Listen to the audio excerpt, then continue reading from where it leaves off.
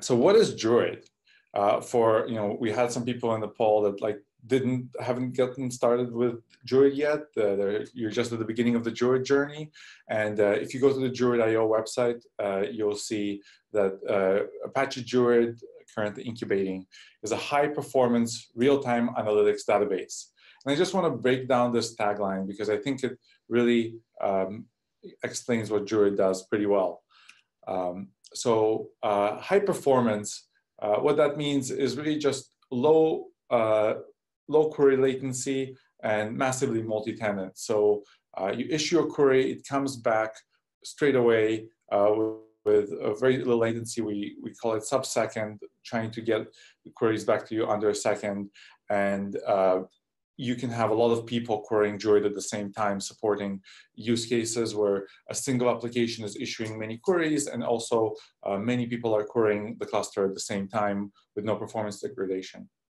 Uh, real time just means that uh, Druid works with streaming data. This is kind of the what the world is moving to now.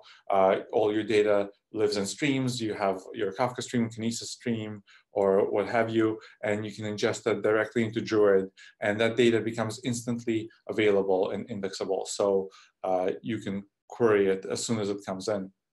Um, analytics, uh, Druid is a data database that specializes in counting, ranking, group by, time trend queries.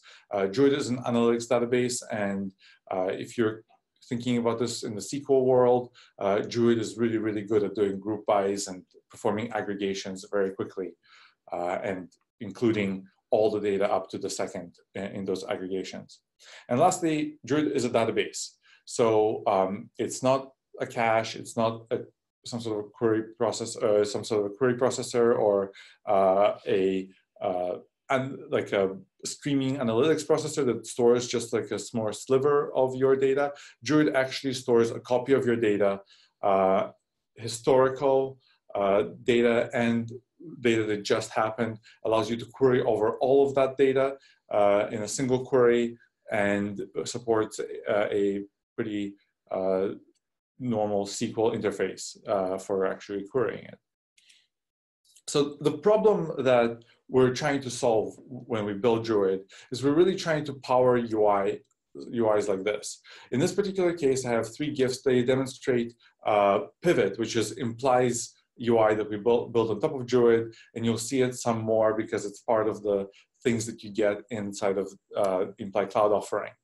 But the fundamentally, when people deploy Druid, they're trying to power some sort of an experience like this, where uh, people uh, can take a big data stream uh, or uh, just a big collection of data, and then to be able to surface it to users in a very quick and intuitive way, where you can just have a dialogue with the data. So every time you're just uh, dragging something in and the, the UI keeps querying under the hood, uh, and every, pretty much every product that people build with Druid looks like some variation of this. Uh, a lot of people use the imply uh, UI that's pictured here, and some people uh, choose to you know, build their own UIs or something like that. But fundamentally, it's to power an experience like this.